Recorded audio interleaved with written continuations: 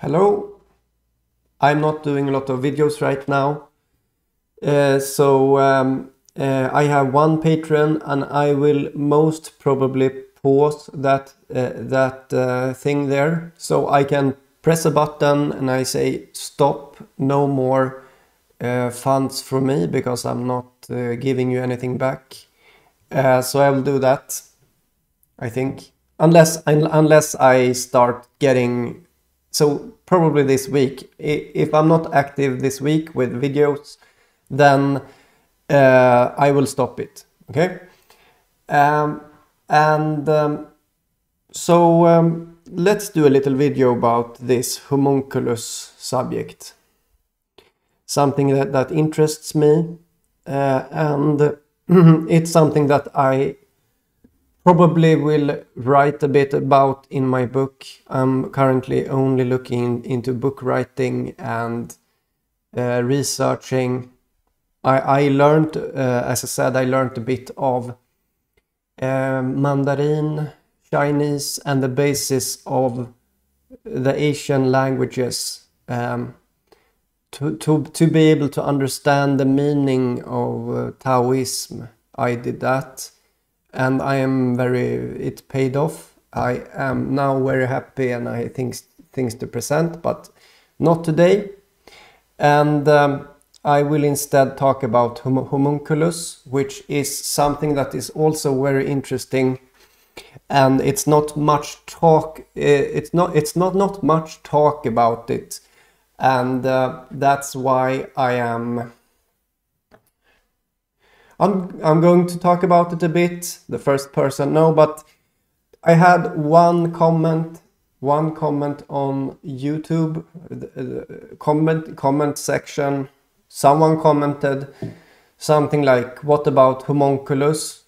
And I was like, what is that? I have no idea. So I looked it up. And after I understood what it was, I did nothing more than that. You know, it's the small guy you have in your head and it's this part that goes like this. You see it's um, like that.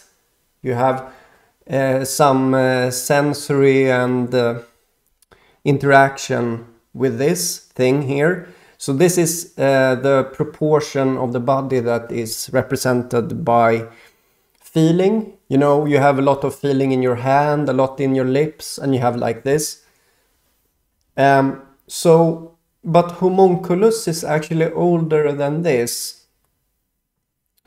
And uh, it started um, way, way back before, before uh, uh, mankind knew anything about, um, about biology.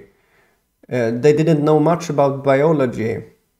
They thought that uh, so this is at in the time of uh, alchemy, alchemy, you know, and at this time uh, they believed that the man, the man seed, you know, the seed of the man, uh, becomes a homunculi if you treat it right. It becomes a little man. Um, so there were these uh, funny experiments with this, but Mm. And then, and why am I talking? Why am I talking about this? Right? I'm talking about it because it's a bit interesting, and there is some connection to my book about it. I don't remember it right now. Uh, uh, but um,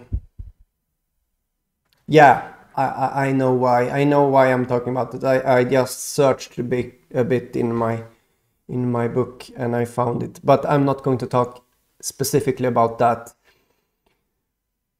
But uh, so in there were alchemy, the time of alchemy, and they thought about this homunculus, but then also the homunculus.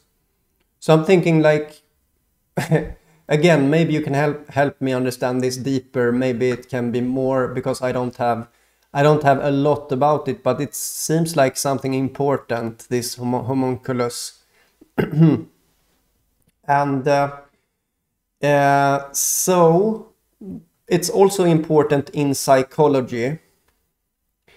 So you have, uh, oh, let's have that. You have this idea that in psychology you have the idea of an homunculi inside your head, a, a little man inside your head that is looking at you, uh, looking at what you see. And this is this is the idea of the un unconscious mind. You know, there's an, an there's something inside the the head that you're not aware of. It's the unconscious. It has it. It's almost has its own will. No, not almost. It has its own will, and this thing inside your head has its own will and it's basically some kind of small ma man inside your head and there is this um, um, maybe I should have had uh, some some good explanation here but Um, so the the idea in psychology is that there is an, there is something looking out from you, something inside of you looking out and overviewing everything. And this is correct first from the perspective of the unconscious but so they they call it the unconscious right now, but what maybe they could call it instead is the homunculus idea. Instead of having uh, a meaty a meaty part, you have something looking. Think think of some man sitting inside your head, just like this image here, and. Uh, uh, it's looking out. But here is the fallacy. They call it a fallacy. It's a paradox, okay? So if if if a head is con constructed like you have something sitting inside your head looking out, then that thing must also have a little man sitting inside its head. And they call this a fallacy. Uh, Wait, I will uh, I will show an image very soon about this. Okay. Moment. Yeah, so they they they call this a fallacy, you see. Um, but yeah, let's make it bigger for a while. So it's supposedly a fallacy. This is a fallacy. You have a man inside your head, you have something inside your head looking out, and this is a fallacy, supposedly. And I just want to bring up the idea that it's not a fallacy. Like, uh, it seems to be, they seem to be reasoning like this. Since you need a fractal of men inside the head of other men inside the head, inside the head, inside the head, it's a fallacy. I would say not. It's it's not a fallacy. So I would like to end it like this. This is just a short video about something that interests me, uh, a random subject, okay? And um, uh, let's see what you have to say because there is not much talk about this. So the homunculus argument it's not a fallacy. It's uh, it could be like this. We have a man in uh, we have someone like if you're a woman you have a woman inside your head inside a woman inside a woman and mm, or or um, or vice versa a man has a woman inside his head and that woman has a man inside her head and that man has a woman you understand? Um, it could be like that also, maybe even more probable like that. Uh, so, um, so what does this uh, implicate?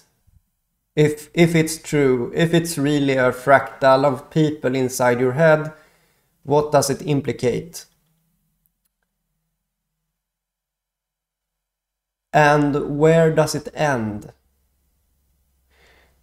Basically, are you a person in someone else's head? You see? And that's the thing. Most probably you are. You see? You think that you are on the outside, but just like something is shut in, you are shut into to this world here, which is a brain, it's a head. You see, it's a head, so you are an homunculus inside this world. Just like the thing inside your head is a homunculus in your head, and there is something inside that. Um, and maybe if you learn to respect what's inside your head, this world here, uh, in uh, by the rule of as above, so, so below, or as within, so without, by that rule, you should be respected by this world because you respect what's inside you. The complexity of that person that is um, yeah um, restrained in inside you. There is something that is restrained within within within you and just in the same way that you are restrained within this world you see? Okay so that's a little talk about homunculus. I will most probably pause this uh, uh, this little payment and um, unless unless I'm full of inspiration uh, I, I, am full with inspiration but I'm doing other things. As I said I'm writing a book for you guys to enjoy at some time. Um, but it takes time you know and I want to do it well. And uh, maybe I'm a per perfectionist, believe it or not. Uh, so uh, yeah, we'll see if uh, this week continues like it is, or how do you say? Uh, let's say next week, okay? If if if it's the same way, I'll just pause it, okay? So that's it. Bye bye.